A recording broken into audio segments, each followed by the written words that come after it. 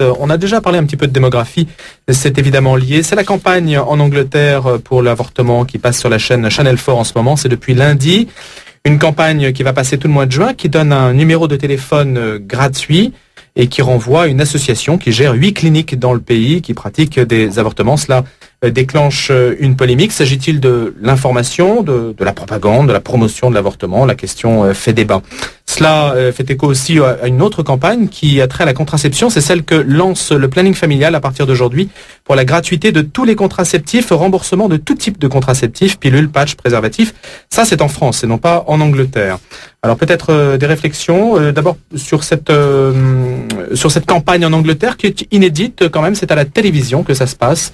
Alors en deux mots, on voit il y a une petite musique, du piano, on voit trois femmes qui. Euh, c'est allusif. Hein. Voilà, c'est allusif, exactement. Euh, êtes-vous en retard? Et si vous êtes en retard, c'est peut-être que vous êtes enceinte. Si vous êtes enceinte, vous vous appelez un numéro de téléphone. Il n'y a pas le mot avortement prononcé. Voilà. Euh, non, la tempête de protestation est limitée au milieu chrétien, naturellement, et encore à une certaine catégorie de milieu chrétien.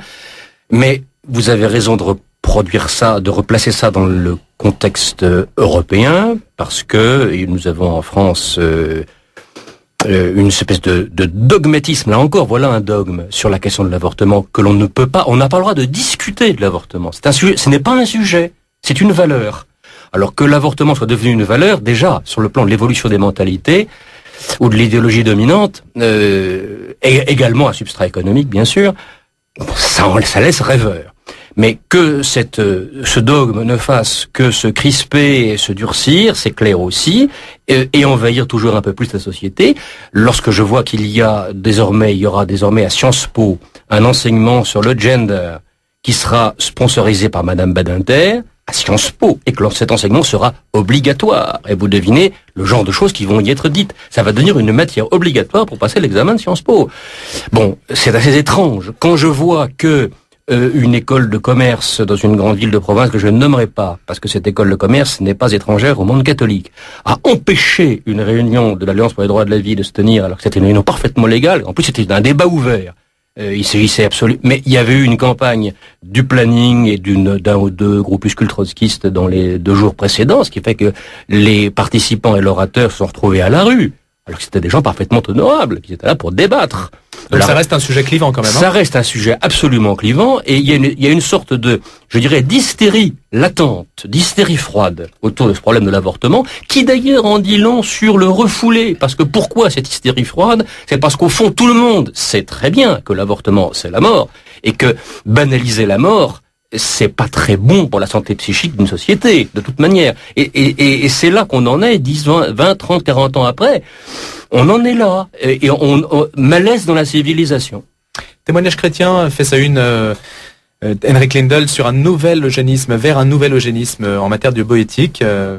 Oui, alors le lien avec l'avortement est, est, relatif hein, et particulier. Euh, c'est un sujet extraordinairement difficile d'évoquer, de, y compris dans, dans, dans nos colonnes, euh, parce que l'avortement, c'est un sujet, sujet totalement passionnel, euh, pour des raisons qui m'échappent un peu quand même. Hein. Moi, je, bon, je dis tout le temps que je suis suédois. Là, là, pour le coup, c'est ça devient intéressant parce qu'en Suède, on, est sorti de, de, ce débat un peu passionnel. On, on en est à dire en Suède, bon, qui est un pays très libéral, plus personne va à l'église. Euh, l'avortement euh, ou pas l'avortement, il n'y a, y a, aucun lien, il n'y a plus pas, pas, beaucoup de lien avec un, débat euh, idéologique ou religieux, c'est plutôt euh, l'individu par rapport à un, événement important. À titre personnel, je partage tout à fait ce qu'a ce dit Patrice Planquette sur sur sur l'avortement et le fait qu'on qu'on tue un individu. Voilà, ça, ça, mais, mais, toutes les sociétés ne réagissent pas de la même manière aujourd'hui. Mais voilà, exactement. Même même les gens qui n'ont pas de croyance, pas d'idéologie particulière en la matière, en soi dire que arrive aujourd'hui à constater que, l'avortement est un problème en soi. Euh, voilà, pour des tas, de raisons différentes. Alors, une des raisons pour lesquelles l'avortement est un, énorme problème, c'est que quand on avorte, en général, on avorte euh, des, enfants qui, sont ou des fœtus qui sont trisomiques ou qui souffrent d'autres maladies euh, considérées comme graves. Et, ça, ça aboutit par définition à l'eugénisme. Et à Témoignage chrétien, nous avons consacré un dossier à cela. Et euh, on en parlera tout à l'heure. Et on en parle juste après 8 heures. Henrik Lindell, et puis je redonne la parole à Victor Loupan juste après sur ces questions liées à la vie.